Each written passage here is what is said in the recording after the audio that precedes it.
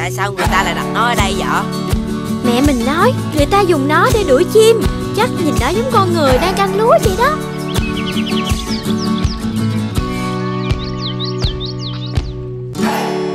Bài khó quá. Hai chút nữa, mình đi chơi về, giải sau cũng được. Nhưng mẹ vô phòng không thấy, Nhất định sẽ phạt mình.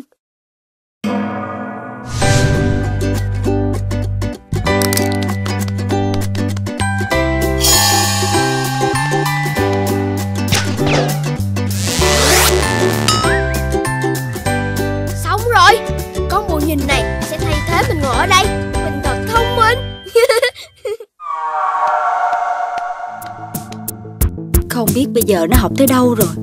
Để lời kiểm tra thử xem.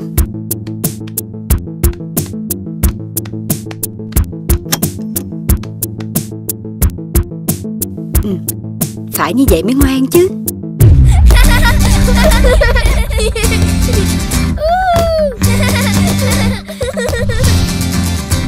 Mình phải thưởng cho con mới được.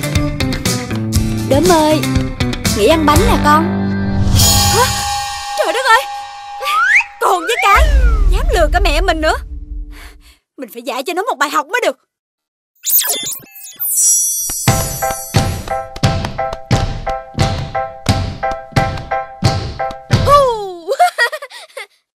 Ờ, mẹ ơi, Mẹ.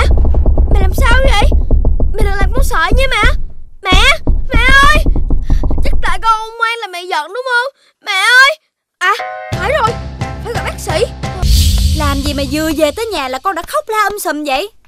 Mẹ Mẹ ở đây. Vậy, vậy à, ai là Thiệt Thì cũng giống con thôi. Dám dùng bù nhìn để lừa gạt mẹ. Là sao? Tại Tại bài khó quá. Con muốn ra ngoài để thư giãn một chút thôi mà. Nhưng mà lừa gạt Và làm người thân của mình lo lắng là sai. Con biết không? Dạ con xin lỗi mẹ. Từ nay con không dám gạt mẹ nữa đâu Con cũng sợ lắm rồi. Mẹ Mẹ làm con lo quá. Mẹ không sao là tốt rồi. Nhờ vậy mẹ cũng biết là con thương mẹ biết giường nào. Thôi con rửa tay đi Rồi mẹ con mình cùng ăn bánh nha. Dạ